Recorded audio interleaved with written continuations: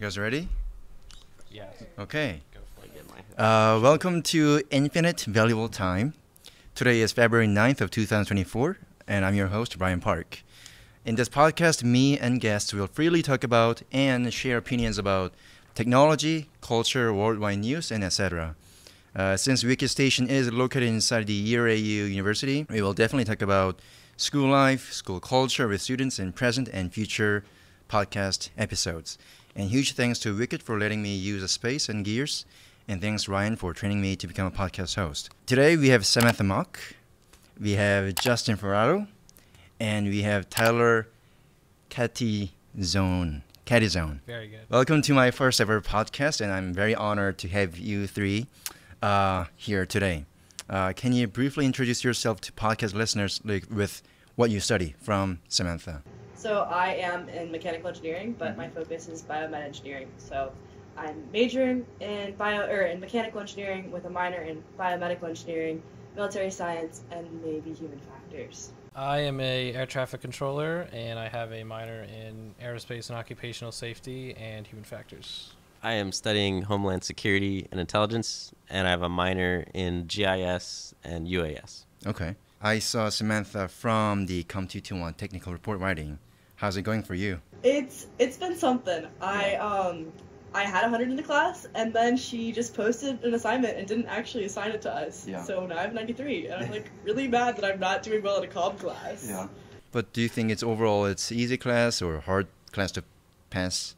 I think it's an easy class. It's just a lot of work. Like um, true. we have an assignment every single day, Mhm. and I hate communications. I'm so bad at writing, like actually garbage. You can ask Brian about my Yeah, resume. It's not Definitely. good. Yeah. Justin, what about you? What's your uh, hardest class right now? Right now, um, probably National Security Enterprise Okay, why? because it's very long. It's like an hour and 15 minute block, Okay. and his he's not super clear on like what he wants us to know.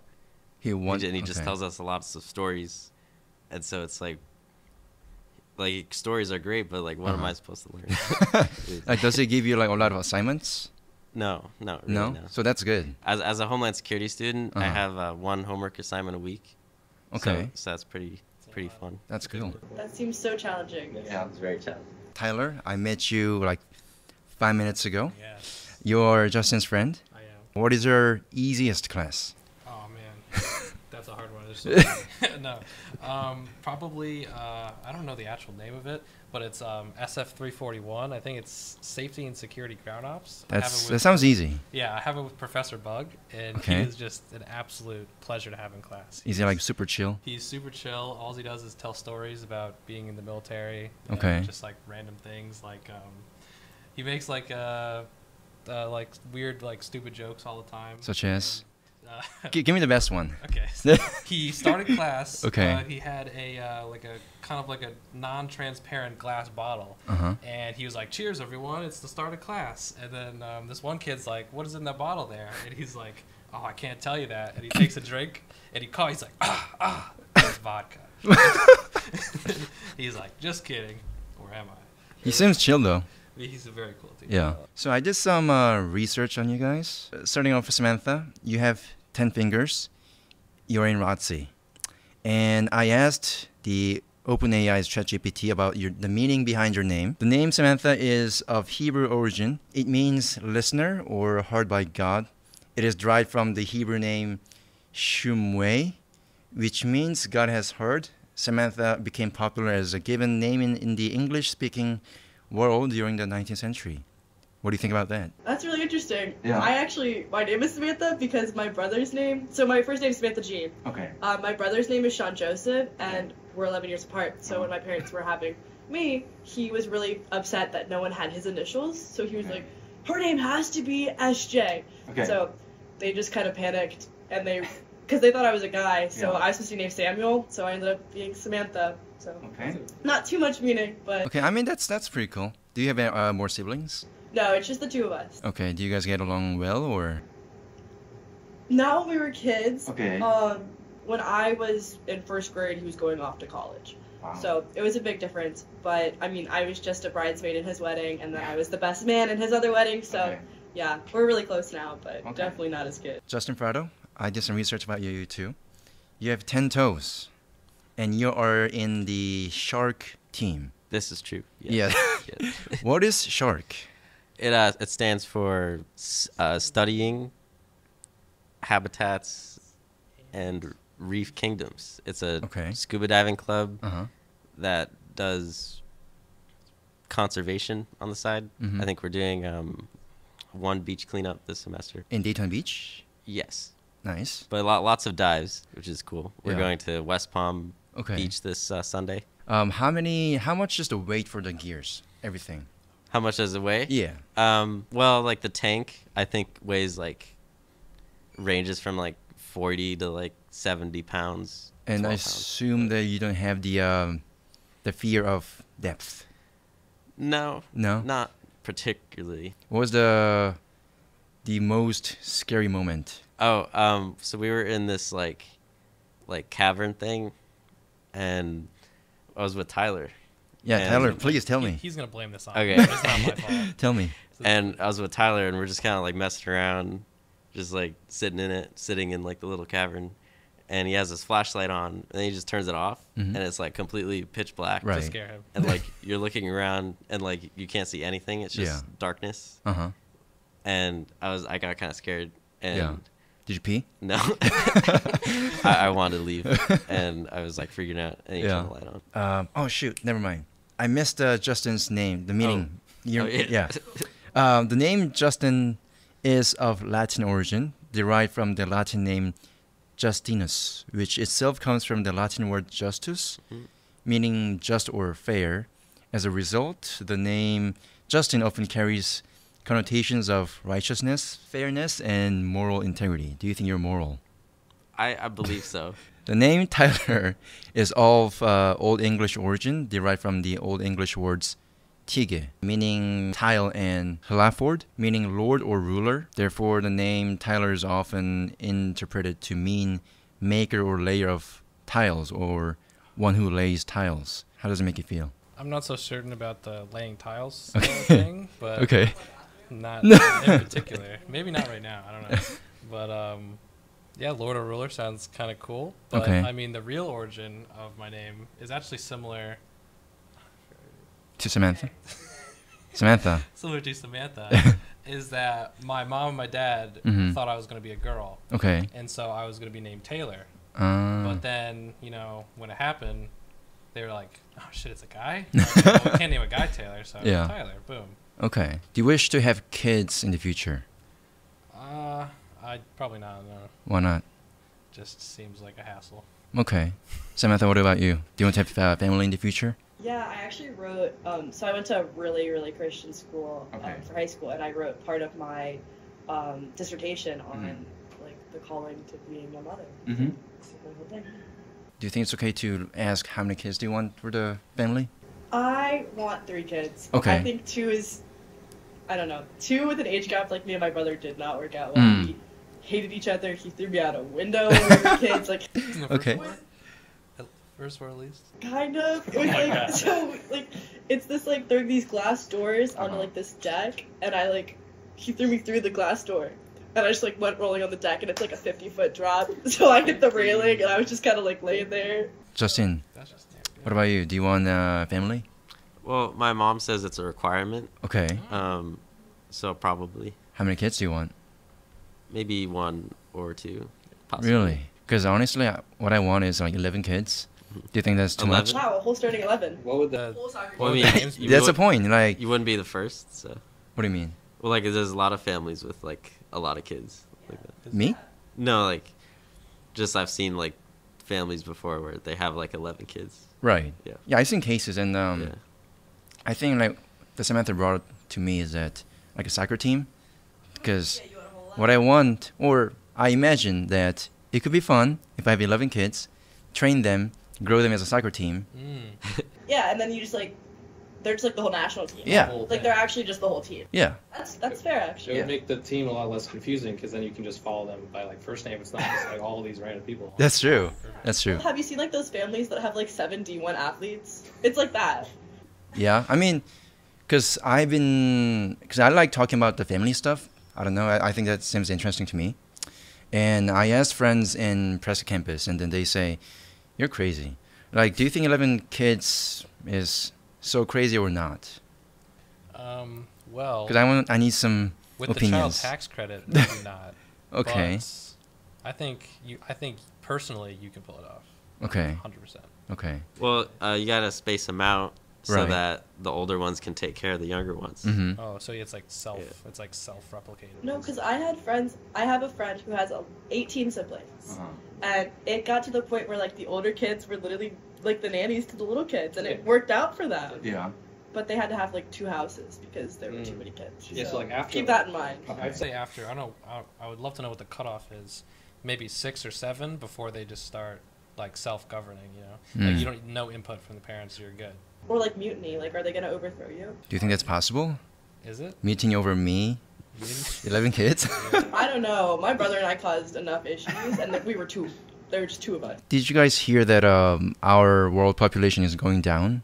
Oh no, Oh, is it actually? I did not. Yeah. Hear that. Is that like? Is that good news or bad news? It's a bad news because lesser people. Well, yeah, a lot of like over- populations are crashing. what yeah. about like overpopulation?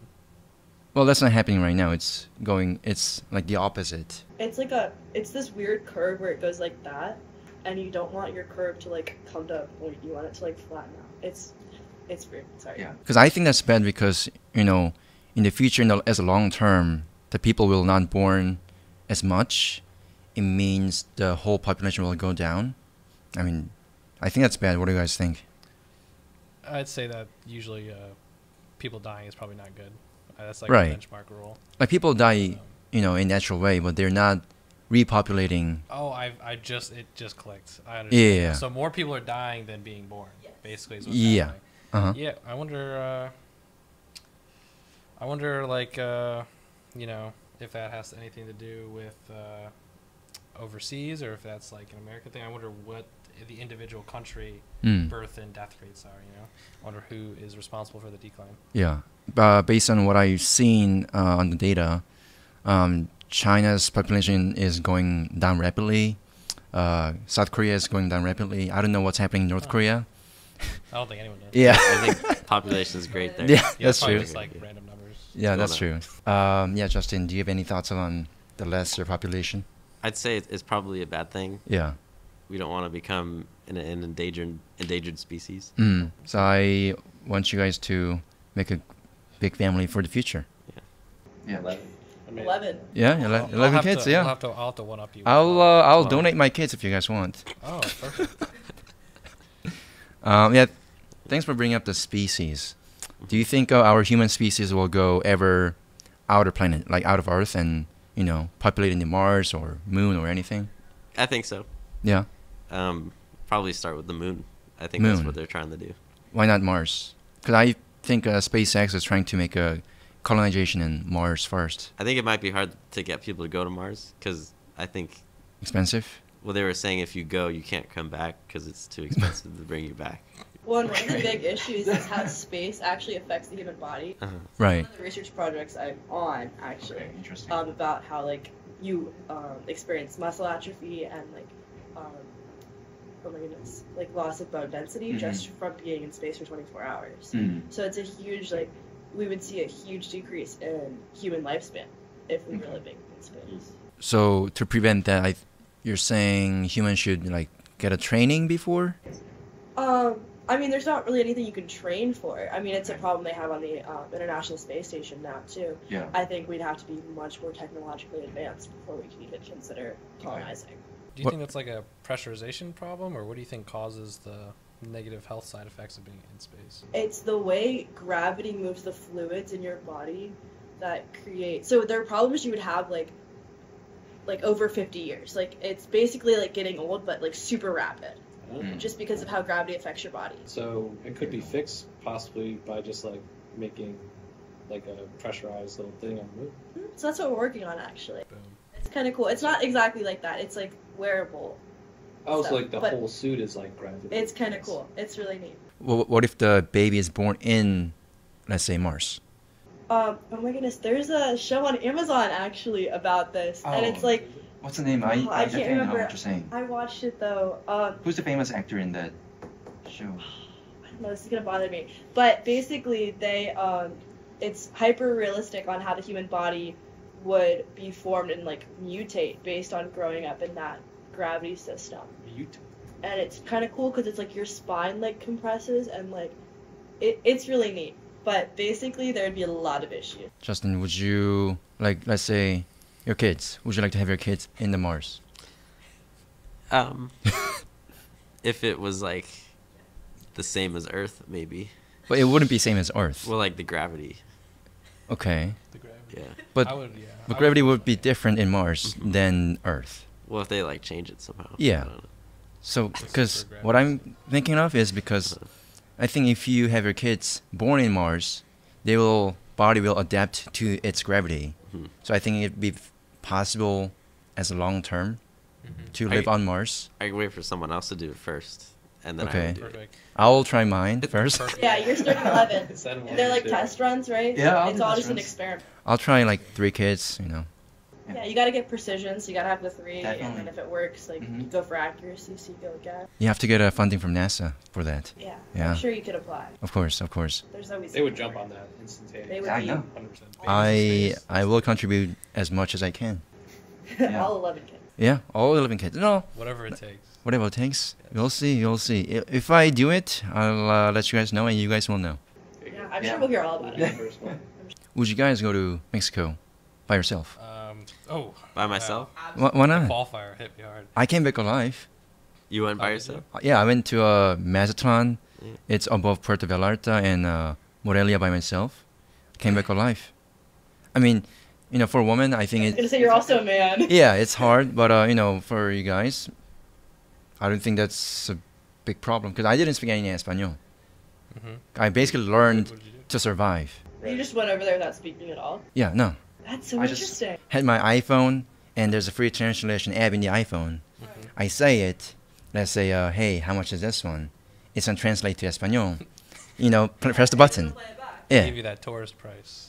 Yeah. Special, that's special. That, I know, but- price. Have you like ever heard about Mazatlan? Nope. Because there's uh, when I went there, it was in um, December to early January. Like I was the only tourist. Oh. Mm. Yeah, I was the only tourist. Everyone is uh, like pure Mexican. No one speaks English at all. Mm-hmm. And I think I don't know. I just had fun because, um, you know, solo adventure. I think it's pretty worth of experience. I would say. Yeah. Yeah. It's definitely a good way to find yourself. Mm-hmm. Definitely. That's how I got this tattoo. Where like it's everything is under two hundred dollars. Really? Yeah. And I told my parents. Well, I didn't tell them. They somehow find it out. Yeah. And my parents are really classic Korean parents. They are so angry. Like they say, you should never get a tattoo again. They only know about this tattoo. Mm-hmm. They don't know about this one and this one. so, no, they, uh, it's okay. I mean, even uh, even though they I meet them in person to person, what, what should I do about it? Nothing. Long sleeves. Huh? Long sleeves. Well, I mean, also it's something permanent. It's not like you're gonna be able to change it. Yeah. So I mean, Might you're as just well gonna have to live rip with it. It's a decision you made. Mhm. Band it off. Hey, look at my tattoo. Sorry, guys.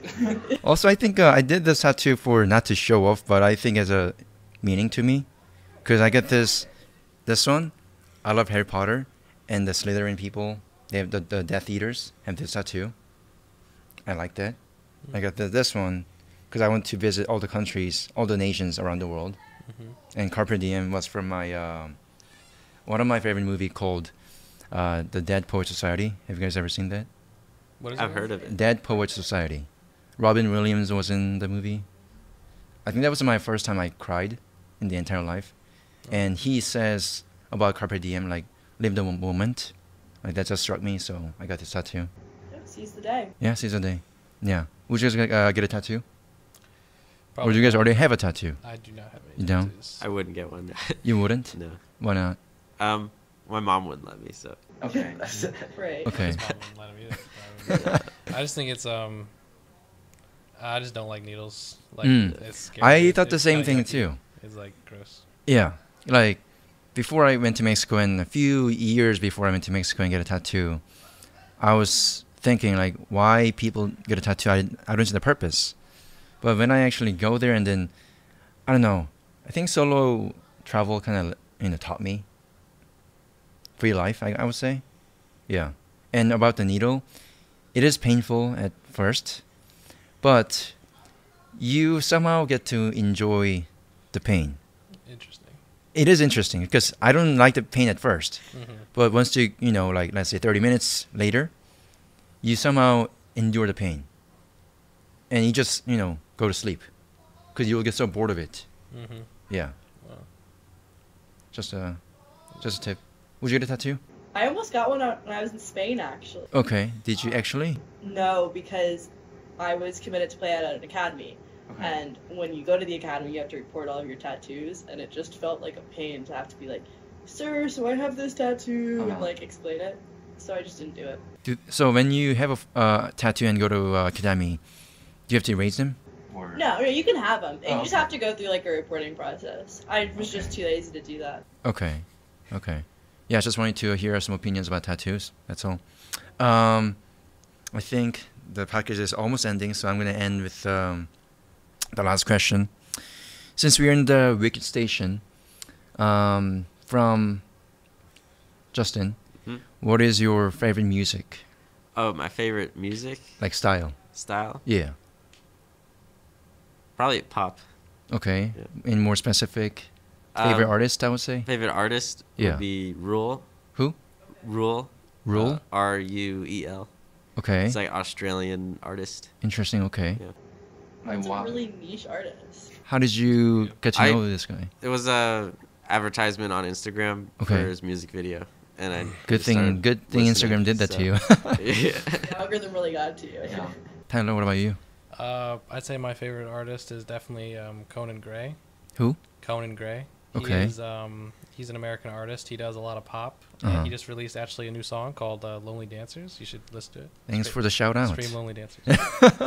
Samantha. Um, I grew up listening to country music, so Okay. country is like my go-to. I know a lot of people are really against it, but um, Johnny Cash is my all-time favorite artist. Okay. But Zach Bryan is my current obsession. so- A lot of my high school friends go to Jack Bryan's concert. Oh yeah, oh, 'Cause- he's super popular. Yeah, because um, I went to high school in Omaha, Nebraska, and every time I see Instagram story, they go to Jack Bryan's con- concert, and I don't know who that is. But it seems like they love country music a lot, and I can appreciate that too. Um, yeah, right now it's 18:45. I think we're gonna end the podcast over here. Thank you, Samantha, Tyler, Justin, for joining this my first ever podcast ever in my life.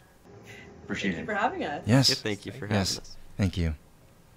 Thanks so much. Bye bye. Goodbye, everyone. Bye. Thanks, WIKD. it's, yeah, I think it's over. I think it's over. I think we're done. It's not recording anymore. I like country music. You know, I don't know. People are like, it's either like you like country music or you're like, country music's the worst thing ever. I didn't I didn't uh, like it until I came here and like everyone That's listened fair. to it. Everyone So listens it's to country like music here. I was like, oh, it's not. Everyone listen to country music here? A lot of people listen Fair, to yeah. country music. Yeah. How do you feel about the resident, as the resident country music listener? How do you feel about the